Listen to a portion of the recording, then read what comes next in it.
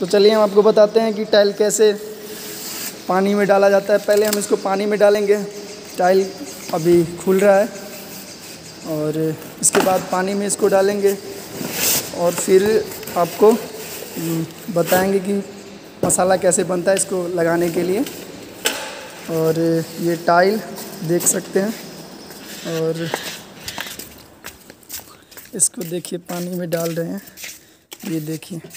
पानी में इसलिए डाल रहे हैं क्योंकि इसका जो मजबूती, क्योंकि ये मिट्टी का बना होता है तो इसको, ये पानी इसको चाहिए या कह सकते हैं कि इसको ज़रूरत है पानी की।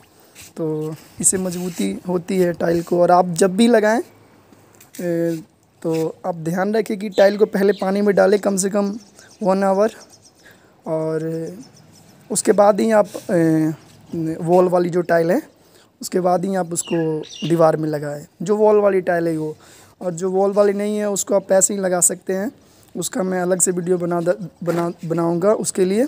बट फ़िलहाल आपको हम बता रहे हैं कि वॉल का टाइल होता है, उसका क्या पूरा प्रोसेस है और उसको कैसे लगाया जाता है। तो ये हमारा वॉल का टाइल है, इसको हमने पानी में डाल दिया है। और चलिए आगे हम आपको बताते हैं कि मसाला कैसे बनता है, जो हम आजकल जो सीमेंट और केमिकल मिलाकर जो बनाते हैं।